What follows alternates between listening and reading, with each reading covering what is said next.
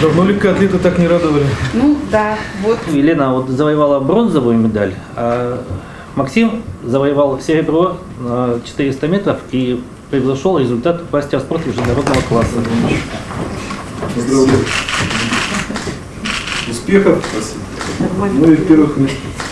Очень жалко, что не получилось выиграть. Прям до последних там сантиметров лидировал.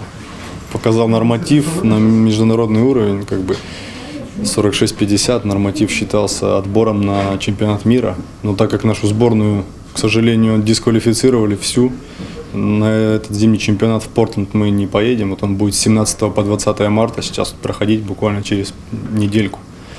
Ну, дальнейшие планы. Сейчас э, вот завтра улетаем на сбор в Кисловодск. Ну, а самый главный непосредственно старт – это отбор на Олимпийские игры 20-23 июня в Чебоксарах. Появление вот таких людей в городе, победителей настоящих, это всегда, мне кажется, стимул для того, чтобы развивался тот или иной вид спорта. Ну и в силу того, что он массовый, было принято решение Алексеем Александровичем Марташовым, что в этом году мы отремонтируем беговую дорожку на стадионе «Металлург». А Компания «Северсталь» выделит в этом году на это 38 миллионов.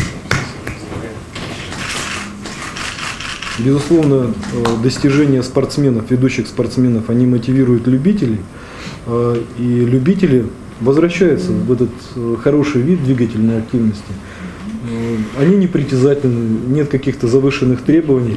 Очень хорошо, что люди понимают важность регулярных занятий физкультуры. Ну и наша общая задача создать э, те условия, чтобы люди могли заниматься, в том числе на стадионе Металлург, потому что он очень удобно расположен Точно. в центре города.